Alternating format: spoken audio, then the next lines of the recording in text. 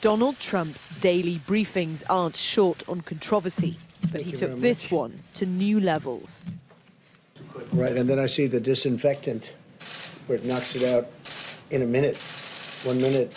And is there a way we can do something like that uh, by injection inside or, or almost a cleaning? Because you see it gets on the lungs and it does a tremendous number of the lungs. So it'd be interesting to check that. So that you're going to have to use medical doctors with. But it sounds, it sounds interesting to me.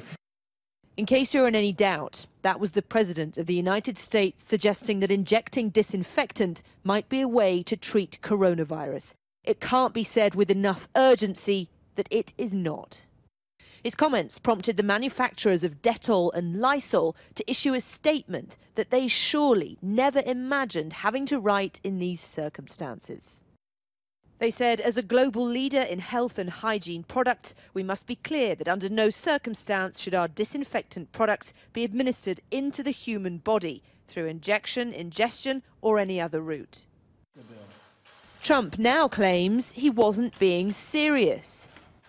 I was asking a question sarcastically to reporters like you, just to see what would happen. Put in the form of a question to a group of extraordinarily hostile people, namely the fake news media.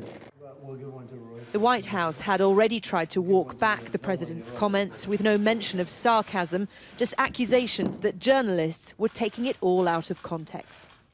Thank you, Mr. President. Thank you very much. On Friday night, he took no questions, an unusual move in one of the shortest White House briefings yet. Donald Trump has repeatedly and recklessly pushed what he sees as potential cures. First, it was hydroxychloroquine. I've seen people that are going to die without it. And you know the expression, when that's happening, they should do it. What really do we have to lose? It turns out quite a lot. A new study found this anti malaria drug has no benefit in coronavirus treatment. It actually saw a higher death rate. The Food and Drug Administration has now issued a warning against it over risks to the heart. I'm the president, and you're fake news. The president knows his powerful words reach millions of Americans, Thank you. Thank you very much. many of whom are desperately sick.